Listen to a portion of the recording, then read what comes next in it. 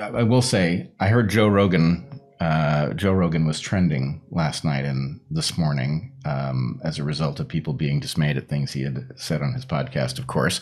And as is so frequently the case, when you go and check, A, Joe is not did not say the things that he is reported to have said, and B, the things that people imagine were so upsetting shouldn't have been upsetting to them. One of the things that Joe said was something very much like uh, what you and I have been planning to say here about um, these other interventions and the fact that it's weird that we're not recommending them.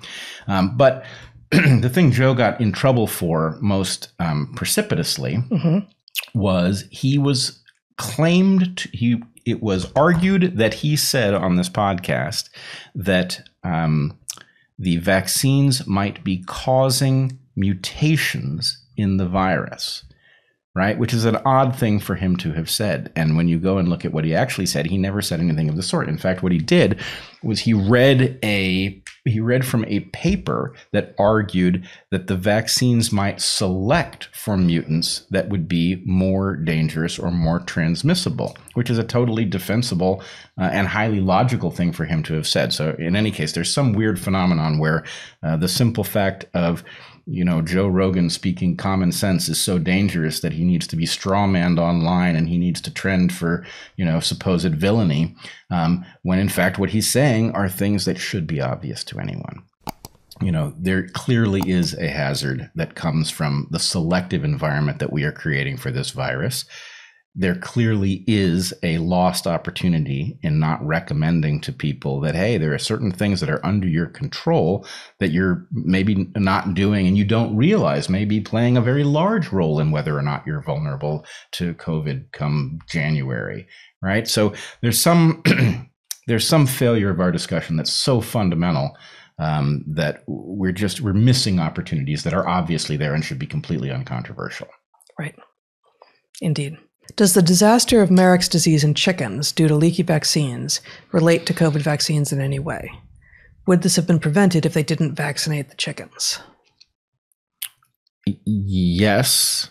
We don't know whether it relates to our COVID situation. It's too early to tell. Right. I mean, we talked about it. Um, we we talked about the paper that did that research. Um, it's from like 2015, I think, um, it, both on the podcast and in the paper in our paper. Um, with regard to providing some empirical evidence that this this is understood to be an outcome at least sometimes when you mass vaccinate with a leaky vaccine um, when a disease is in this case i think endemic rather than pandemic but the distinction may be um, not important here.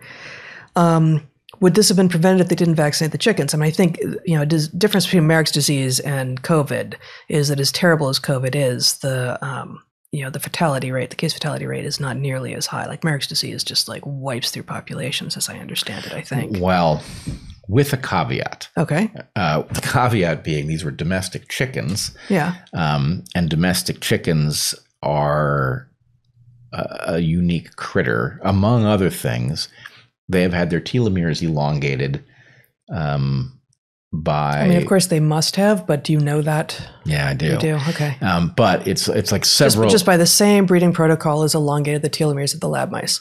Right. Presumably, it's the same. Okay, so that thing pressure. we don't know for sure. That, but, yeah, okay. that we don't know. Mm-hmm. Um, but so Marek's disease is a neoplastic virus, a rare virus that causes cancers. Mm. Um, these creatures are likely to be cancer prone. I didn't know. I didn't know it was neoplastic. Right. Okay. So anyway, the point is, uh, with the caveat that chickens are not a good model for anything by virtue of their distortion yeah. through their breeding process.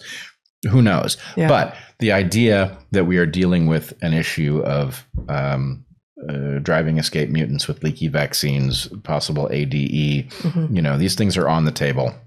And what Marek's disease has to tell us is uh, proceed with caution because welcome to complex systems. Yeah. Yeah. And just, I mean, just let's be clear. So, you, you know, in the first hour, first hour and a half, you were talking about the way that Joe Rogan has been um, strawmanned and said to say things that he didn't say.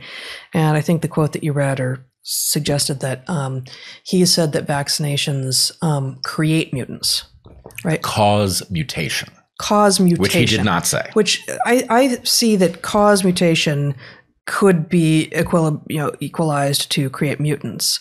And the selective pressure, which you just said correctly, but could be misunderstood by those who weren't paying careful attention or who wanted to misconstrue. Who don't get the difference. or like just like who don't you know and it's it's a little subtle right? That there will you know all the, these viruses are are replicating and they've all got variation in them Right. and so the mutations are happening regardless. And if you've got a vac- if you've got a selective pressure in the form of a vaccine that's now coming in and going on some number of them you know those those things that already exist those mutants, those mutations that already exist in the population that for whatever reason aren't um, you know aren't coverable by the vaccine um, will be more likely to thrive. It's not that the vaccine created them; they already existed, but they will grow in abundance relative to the other strains if they are not susceptible to the selective pressure, which is the vaccine. Right. But from the point of view of what Joe Rogan said, he said, and he was just reading a paper, but the point was the vaccines select for these things. Right, that, that's neither here nor there. Like I, I just thought that this was an important. Obviously, Joe Rogan didn't say the thing that they said, and you didn't say the thing that people will misread as you just having said. I think it's important for us to, as many times as possible, be very clear about what is actually meant, because you know there's now papers out that seem to say this with regard to COVID, in which some of the authors of those papers even are like, "Oh no, no." You know, definitely there won't be any selective pressure, and you, you hear them talking, and you think, you don't you don't actually understand how evolution works. Yeah.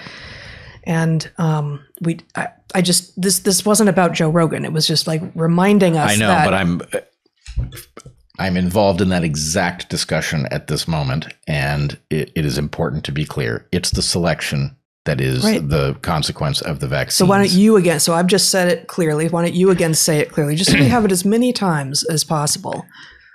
The hypothesis is that the vaccines create immunity that then selects for some variants, right? So mutation makes changes. It And presu- selects for is not creates. Right. Presumably, uh, mutation is random. It doesn't have to be, but that's the presumption of uh, almost every model. And selection exerted by the immune system on a leaky uh, vaccine, uh, a on a uh, breakthrough case that results from a leaky vaccine will be for those variants that are most invisible to the immune system, which will then likely be invisible to the next vaccinated person's immune system too, because it's the same immunity that is induced. Right.